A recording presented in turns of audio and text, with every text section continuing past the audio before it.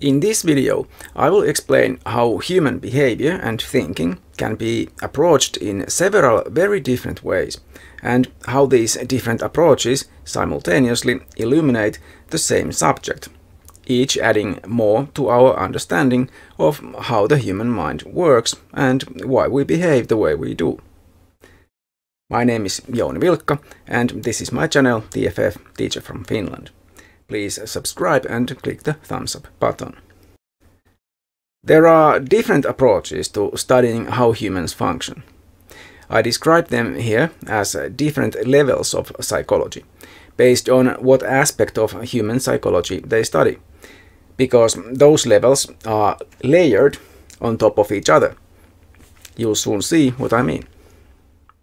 As we are biologically speaking animals, it stands to reason that we can also be studied as such. Biological psychology, or biopsychology for short, looks into the biological foundation that enables us to think, solve new problems, speak and create cultures, and so on. Things like our neural and hormonal systems of regulation can explain a lot about our behavior and how we function at a fundamental level. An evolutionary perspective can also explain why we might have certain features or tendencies. Genetics certainly seems to have a lot to do with uh, such things. Another approach focuses on how the individual person's mind or psyche works on the mental level, thinking conceptually and experiencing emotions. We can think consciously, using our cognitive abilities to perceive problems, discuss them with others, and solve them, among other things. Cognitive psychology studies our mental abilities and the schemas structuring our thinking. Thoughts, emotions, the influence of subconscious desires on our behavior, the relationships we had with our parents while growing up, and all that. This is probably what most people associate with psychology. This level of psychology uh, depends on the biological basis that makes all these functions possible. If we go up to the next level to see what the psychological functioning of an individual makes possible, we come to the social level, studied especially by social psychology. We are affected even by our non-human environment. Think about how your mood can alter depending on your surroundings. Even more significant are of course our relationships with other people, the groups we belong to. The social dynamics within and between groups are extremely important. Peer pressure and tribalism may explain a lot about what happens even in our societies more broadly in politics, say. The final level of abstraction, even above social, is the cultural. Values, worldviews, cultural schemas, and such things affect everyone within a culture, and different cultures can be defined and compared. What motivations we have, how we express emotions, what kind of social structures are possible, all these things depend on culture. All the aforementioned levels of psychology are simultaneously influencing our thinking and behavior, whether we like it or not, so it makes sense to also study those effects on our psychology. I will now give some examples of how certain phenomena can be approached in these different ways to increase our understanding of the phenomenon. How would you study the experiences children have at the summer camp, for example? It could be possible to take a biological approach and look into the physiological side of the experiences by monitoring things like blood pressure, heart rate, and signs of stress hormones in blood samples, for example. Another approach would be to interview the children at the time, soon after, or after a longer period of time, or all the above, to see how the kids describe their experiences how they remember the camp, what they remember, and what they forget, and so on. The ways the children construct a narrative of their experience uh, could tell us something about how they think. It would also be possible to study uh, the influence of other people on the children, as well as the formation of social bonds, groups, and interactions between the groups. This could give us ideas for preventing bullying and how to improve social cohesion in a positive way. Finally, the significance of things and the forms of expressions uh, used or limited or even banned at the camp could be analyzed as cultural constructs.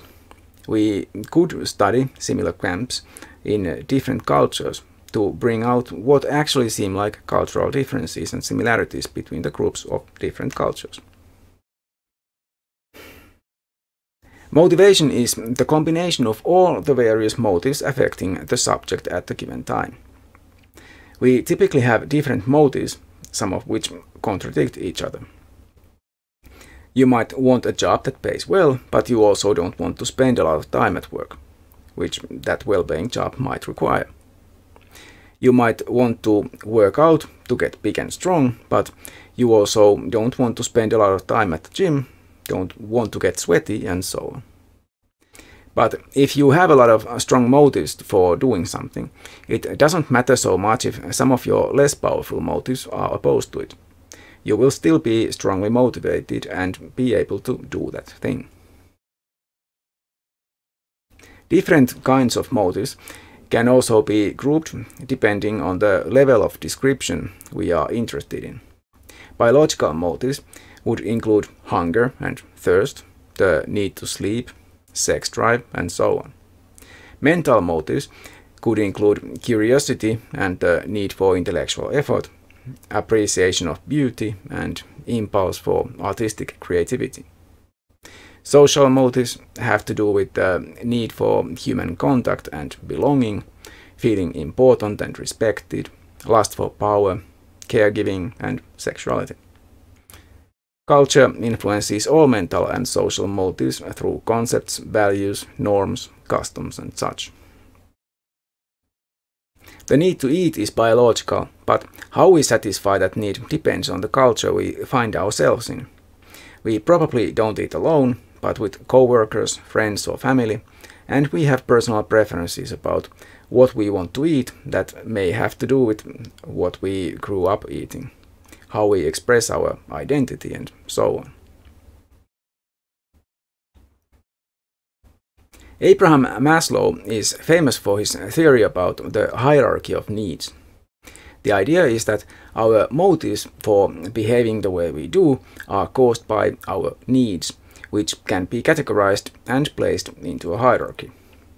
The point of the hierarchy is that, according to Maslow, we fulfill our needs in a certain order.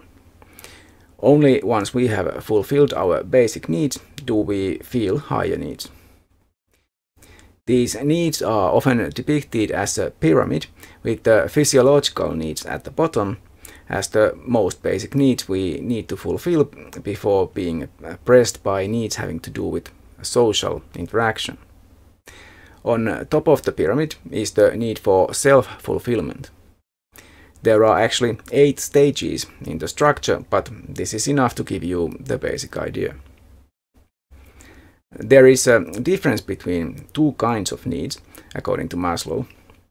Deficiency needs are caused by being deprived in some way. Of these, basic needs like physiological needs and safety needs are obvious, but they also include mental needs of belonging and love, as well as that of esteem. The last of these includes the need to feel accomplishment and prestige. The lower in the hierarchy the need is, the more necessary it is, and thus the more pressing the motivation to fulfill it. If you've ever been really thirsty, you probably agree with this. The other kind of need is higher up on the hierarchy. Growth needs are about psychologically growing as a person, achieving one's potential. It can be about expressing oneself artistically or otherwise going after one's personal goals. The theory has needed some revision since Maslow presented it. Apparently, the order of the needs varies somewhat from person to person, and some people consider higher needs more pressing than some needs lower in the hierarchy as presented. The theory cannot be used to predict behavior. It is still perhaps useful in expressing something about the structure of needs and their importance. The framework is used in some academic fields like sociology and sometimes when making decisions about social policy. For example, Finland is pretty famous for effectively dealing with homelessness. The guiding principle that led to significantly improving the situation is called housing first and is based on an idea that is at least similar to Maslow's. You can't deal with the other problems unhoused people have unless you first take care of that most pressing concern and get them housed. That has been a very successful strategy in reducing homelessness and other social problems, as far as I know. Joy, sorrow, hate, disgust, surprise, and fear are called basic emotions because they can be found in all cultures and are expressed with the same expressions and gestures. Even those born blind use the same expressions for expressing them, even though they cannot have learned those expressions by watching others.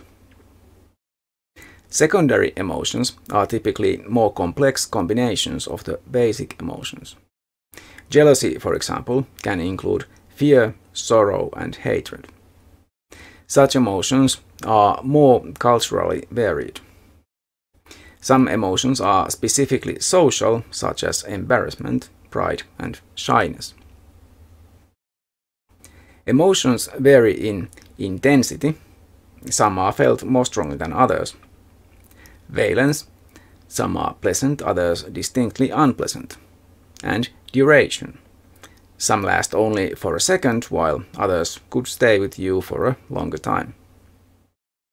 Note that mood is not an emotion, but a long-term general state of feeling that fluctuates with emotions. For example, a person can feel very down most of the time due to depression, but still be able to have a brief moment of joy. The biological basis of emotions is reflected in the physiological reactions that are connected to them, such as changes in pulse and breathing, sweating, and so on. The mental level of description covers one's own interpretation of the emotion, which has a lot to do with how one experiences the emotion. The social aspect of emotion can be seen in the regulation of emotions and their expressions in social relationships and situations the cultural level usually limits how emotions are supposed to be experienced and expressed. For example, there are stupid norms stating that boys don't cry. A high-pitched scream is unmanly. Women are caring. Um, the widow should express sorrow for at least one month, but no more than a year, and so on. Basic cognitive functions include perception, attention, memory, thinking, language, and learning. Higher cognitive processes include at least creativity and problem solving. Certain changes in uh, the brain obviously influence cognitive functions. Alcohol and some illnesses may temporarily alter one's perception and ability to function well. Injuries and simply one's development while growing up or aging can also cause very significant changes in one's cognitive abilities and even be disabling. Ancient philosophers already knew that strong emotions, affects, influence thinking, typically making it more difficult. Mood also affects cognitive functions so that a positive mood improves learning and memory as well as directing and sustaining attention. The social situation also directs attention and shapes the interpretation of the situation. Other people can influence one's emotional state merely by virtue of being present. Culture has a subconscious influence on our worldview, as well as providing us with our language, of course. Thus, the concepts we use are clearly influenced by culture, but also so is what we pay attention to. A human is a whole made up of uh, various aspects, some of which are biological, others mental, social or cultural. We grow up within a culture and by being socialized into groups, learn to express ourselves in it. Fundamentally, all these things are also influenced by our biological nature, with all the needs and desires that creates. Those needs and desires are mediated by our mind or psyche, which is molded by individual experiences, the concepts we learn, and the social environment we mostly inhabit. All these things are so intertwined that none of them can be really isolated and separated from the influence of the others. Still, the study of the human mind and human behavior can take different approaches, focusing on the biological, the mental, the social, or even the cultural.